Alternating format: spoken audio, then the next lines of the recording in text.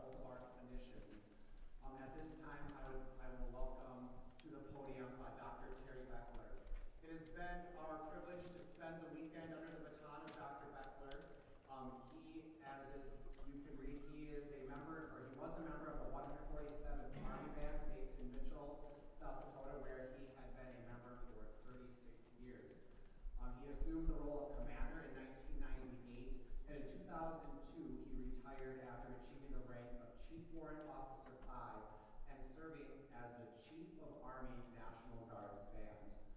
He's not just a wonderful conductor, um, a superb clinician, um, but also an excellent educator. I've had the privilege of uh, taking some of his courses, and um, it certainly has been our privilege to have him here again, Dr. Beckler, um, we welcome you to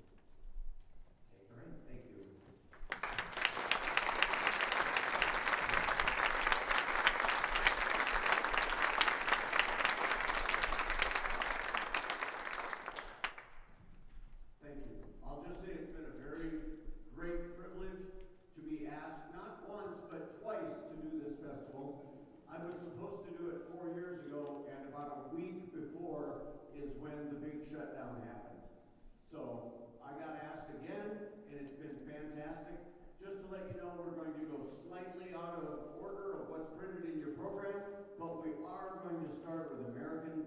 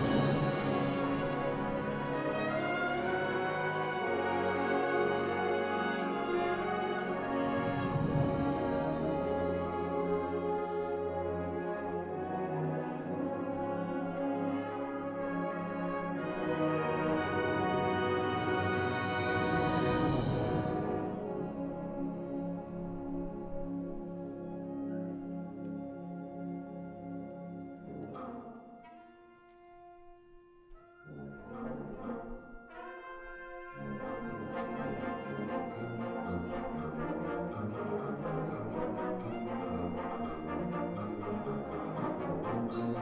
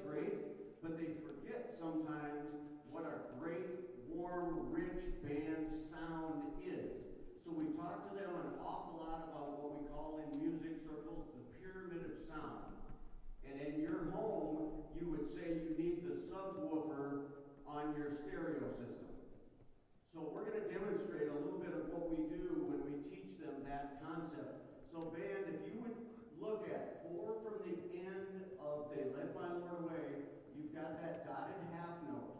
And if you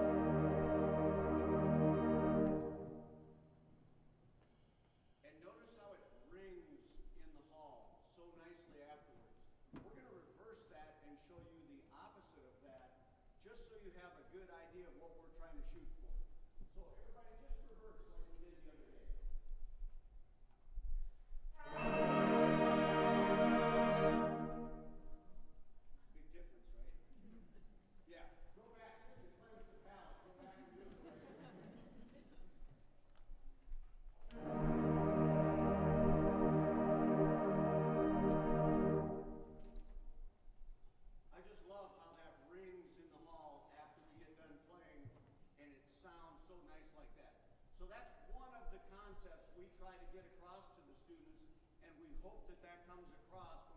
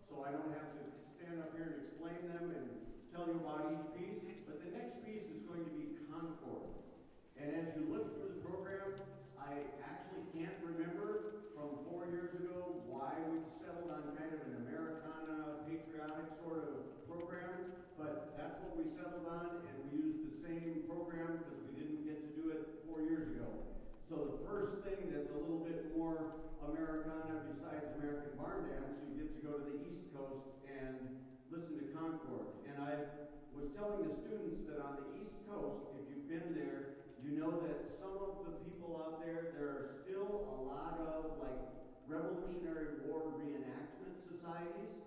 So they do a lot of the fife and drum traditional kinds of things as part of those reenactments. And I've been able to see some of those and they're really cool, but you're gonna get a flavor for that in this piece. We hope you enjoy.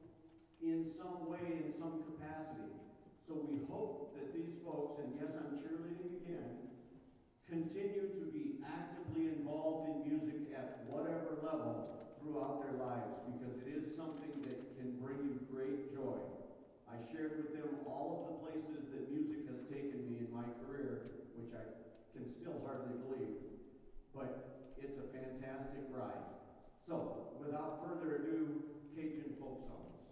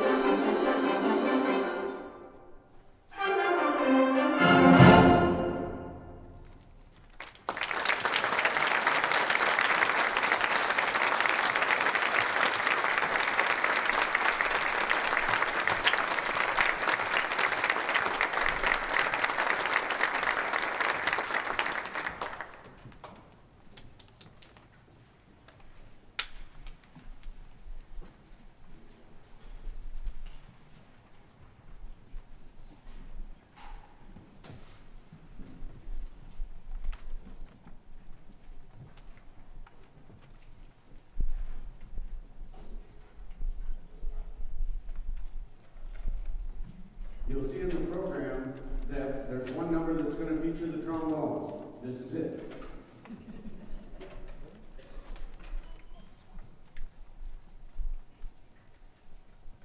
Yes, this was popular, so you may not know a lot of band history, but about a hundred years ago was the heyday of the touring concert band. John Philip Sousa, all of those people like that, and types of pieces would fit in with all of the other things that they would play as features for the section. So we're gonna feature the trombones on Lassus trombone.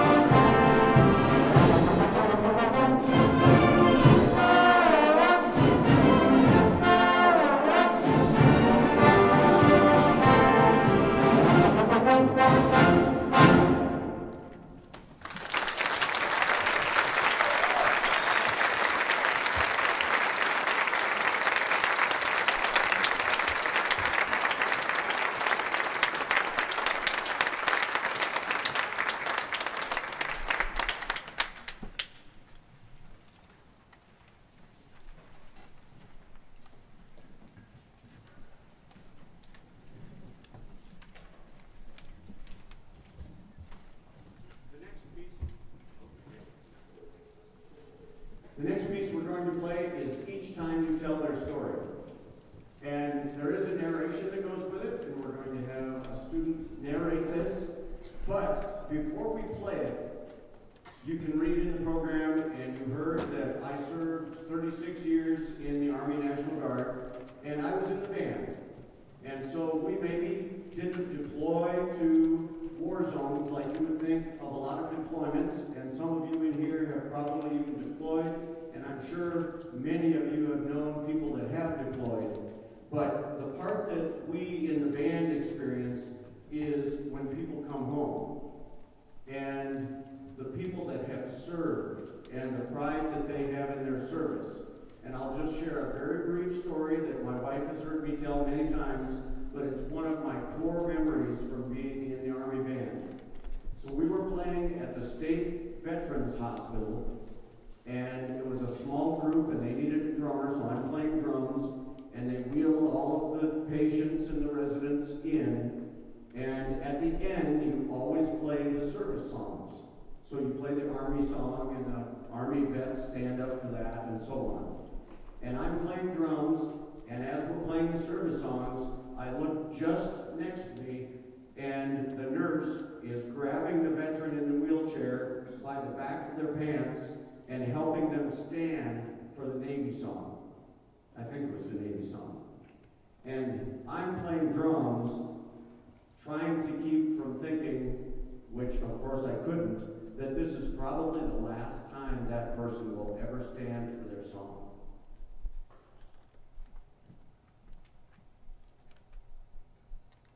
I have to pause because it always kind of chokes me up a little bit. But what a cool thing to honor those people, and what a special thing that music can help us feel a little more connected. And this is one of those times. So we're going to play each time you tell their story.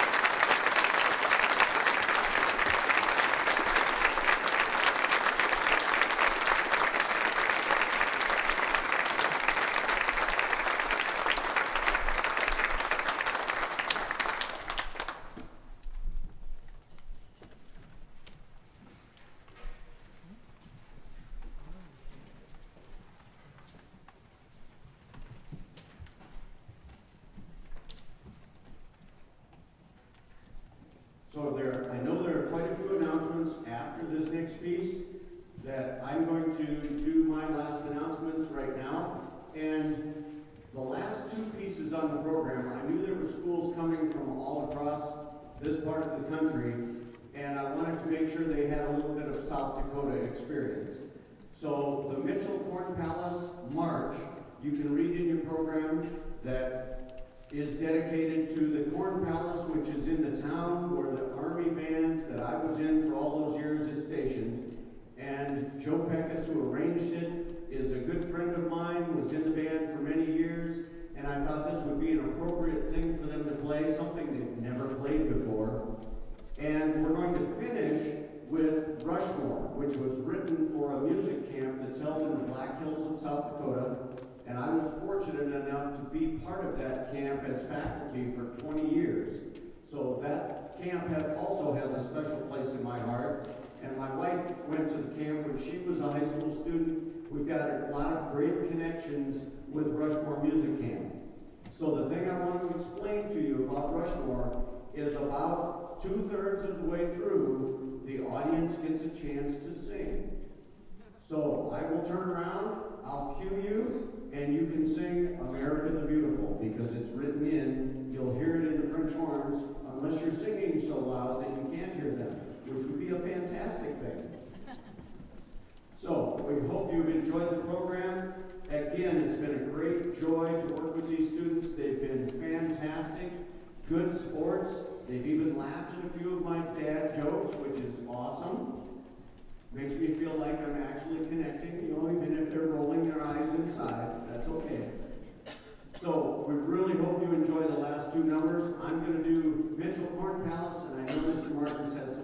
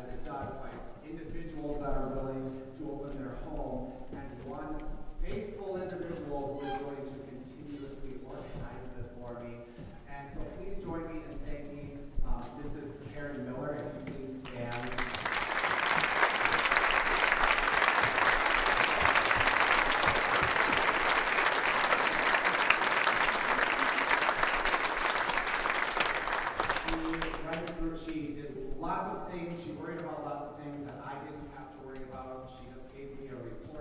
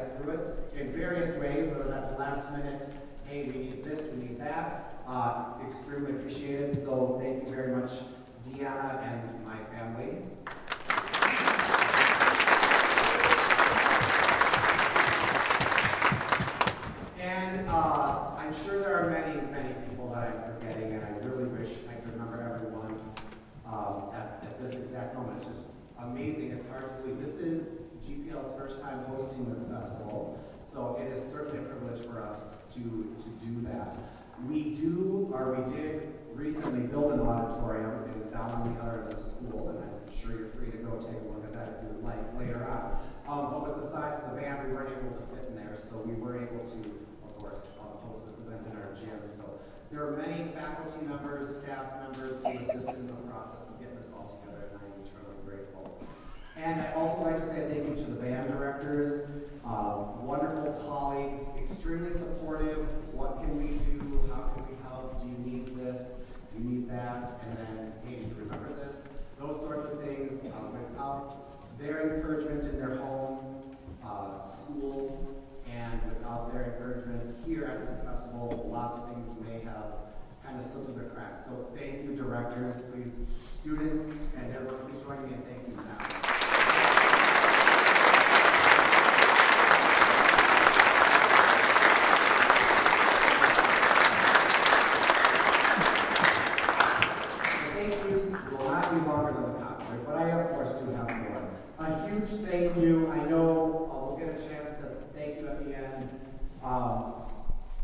weekend, it's just that you have these visions or you have these ideas of how things are going to come together. And the final piece is having the students here on campus. And uh, that is a total unknown, right? We're from various parts of the United States. And these students have been a tremendous blessing to work with. Um, their, their respect and treatment of the property and helping, asking questions, and helping move things around and willing, uh, carrying a chair, and they're like, can I carry that down there for you? Um, various things like that. And of course, for the hours of practicing, um, I know for my students, it's about a month's worth- of practice in a, in a weekend. So uh, please join me in thanking the students for all of that.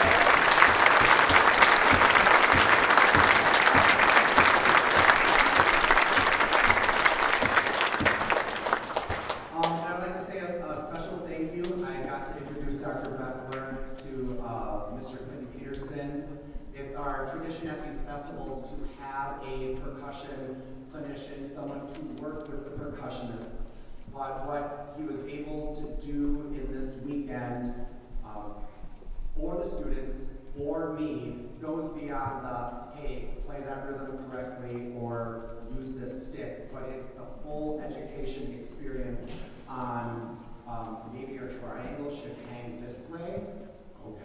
Um, and uh, the, the full percussion experience. And so, Mr. Peterson, thank you.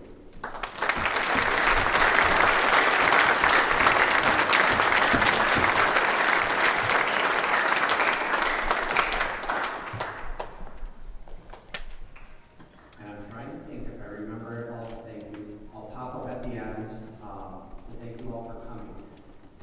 But a final thank you to Dr. Beckler um, for working with these students and inspiring and drawing the music out of them. They have the notes to play, and that happens under your leadership, and we really, truly appreciate that. At this time, uh, oh yes, we should clap.